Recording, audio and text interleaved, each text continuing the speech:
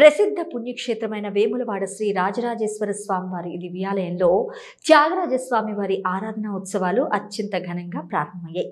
ఉదయం శ్రీ త్యాగరాజస్వామివారి చిత్రపటంతో నగర సంకీర్తన జరిగింది. అనంతరం ఓపెన్ స్లాబ్ వేదిక వద్ద ప్రభుత్వ విప్ ఆది శ్రీనివాస్ జ్యోతి ప్రజ్వలన చేసి ఉత్సవాలను ఘనంగా ప్రారంభించారు. ఉత్సవాల్లో భాగంగా ఉదయం పాలకు చంద్రశేఖర్ శర్మ త్యాగరాజస్వామివారి జీవిత చరిత్రను వివరించారు. అనంతరం రేవతి బృందం వారిచే పంచరత్న గానం చేశారు. డెబ్బై ఒక్క సంవత్సరాలుగా రాజన్న ఆలయంలో శ్రీ త్యాగరాజ స్వామివారి ఉత్సవాలను బాగా నిర్వహిస్తున్నారు.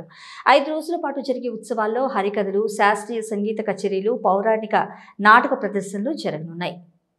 ఈ కార్యక్రమంలో ఆలయ ఈవో కృష్ణప్రసాద్ ఆలయ అధికారులు భక్తులు నాయకులు విద్యార్థులు పాల్గొన్నారు.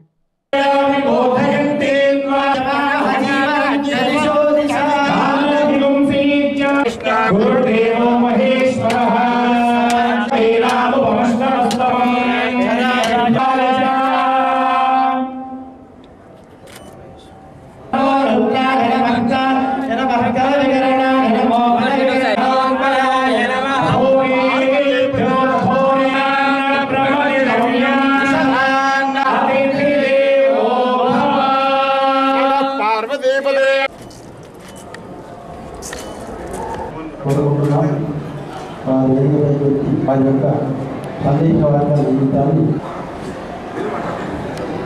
సరే వారి యొక్క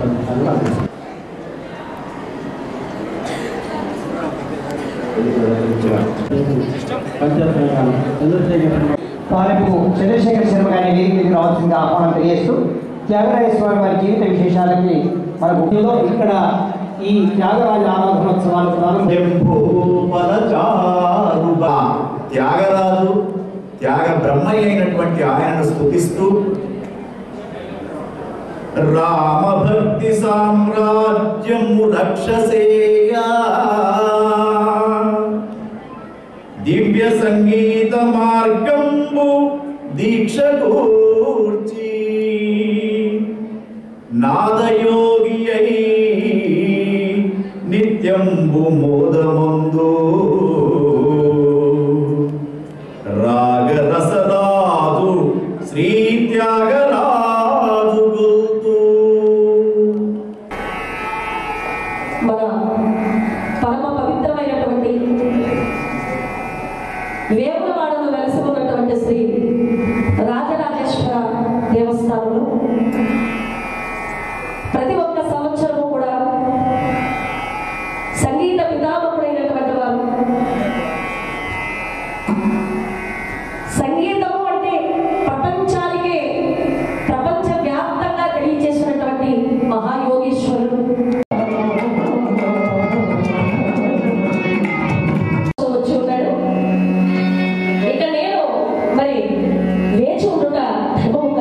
te tá ajudar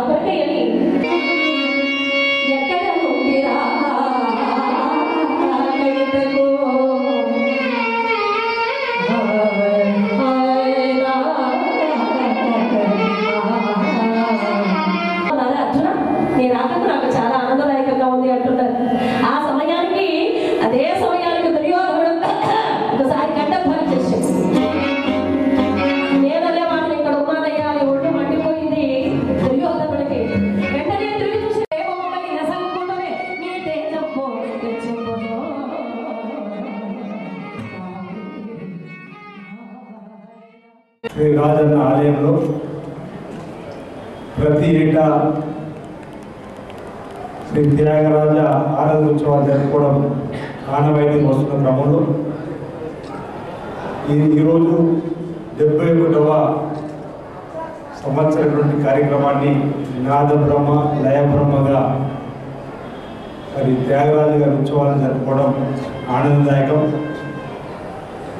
ఇప్పుడే ఈవో గారు చెబుతున్నప్పుడు రెండు మాటల్లో శ్రీరామ భక్తుడిగా అనేక వేల కీర్తనలు రచించినటువంటి త్యాగరాజు గారి సేవలను కొనియాడేటువంటి క్రమంలో ఆధ్యాత్మికము ఈ తరానికి తెలియజెప్పడానికి భక్తి భావాన్ని ప్రజలలో ఈ తరంలో పెంపొందించడానికి లోక కళ్యాణం జరగడానికి మన హైందవ సంస్కృతిని ఎప్పటికప్పుడు పరిచయం చేసేటువంటి కార్యక్రమాల్లో భాగంగా దేవాలయ శాఖ ద్వారా కానీ ఆయా దేవాలయాల ద్వారా కానీ ఆధ్యాత్మిక చింతనలు కూడా ముందుకు పోయేటువంటి వాళ్ళందరూ కూడా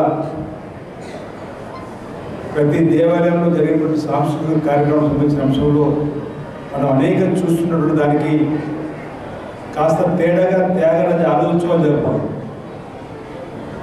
ఆ సందర్భంగా ఐదు రోజులు భక్తిభావంతో ఉండేటువంటి పిల్లలు కానీ లేదా ఈ ఐదు రోజులు కూడా వివిధ రూపాల కళలను కూడా ఒక రకంగా అంతరించిపోకుండా కాపాడేటువంటి కార్యక్రమాన్ని కూడా త్యాగోత్సవాలు చేస్తూ పాటల ద్వారా కానీ కచేరీల ద్వారా కానీ కీర్తనల ద్వారా కానీ లేదా నాట్యం రూపంలో కానీ వివిధ రూపాల్లో కూడా ఈ ఐదు రోజులు ఆయా ప్రాంతాల్లో ఉన్నటువంటి వారందరూ కూడా మనం ఆహ్వానించి లేదా వారు మేము మేము ఈ కార్యక్రమంలో పాల్గొనడానికి మా యొక్క ప్రతిభను చాటుకోవడానికి అవకాశం ఉంటే మనం అలాంటి వారికి అవకాశం ఇచ్చి మరి ఆధ్యాత్మిక భావన పెంపొందించేటువంటి కార్యక్రమం చేయడం అనేది త్యాగోత్సవంలో రావడం